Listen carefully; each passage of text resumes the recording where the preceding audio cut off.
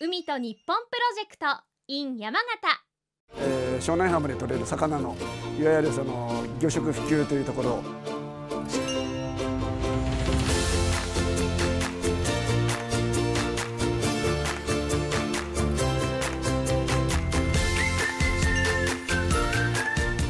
庄内産欲張りちゃんこということで野菜も魚も肉も全部その湯沢あるいは庄内の食材にこだわったということで醤油味のちょっとカスを入れて少しこうアクセントをつけてるとそんな感じで考えています。魚と野菜のコンビネーションですね。やっぱり肉魚そして野菜。これがもう3つが競合したところで本当のうまさというのが出てくると思います。はいどうぞ。熱いので唇焼き焼きでしないようにしてくださいよ熱いので。はい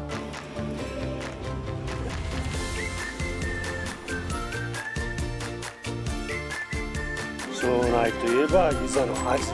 魚介も全部しっかり美味しいですうん、いいところだと思います。いい町です。将来の魚はうめよってうめぞというそこをなんとかこの言葉だけではなくて実際に口に入れてもらえる努力を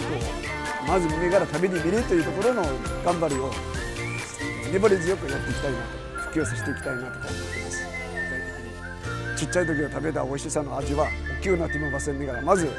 オープン柄ねで何でもまず食べてみてみろで食べることで良さがあの美味しさがいっぱい隠れてるから特に魚はもしあれ嫌いだっちゃと思う子がいても食べてみて必ずうめようというふうなものが分かってもらえるように分かってもらいたいというふうに思います。海と日本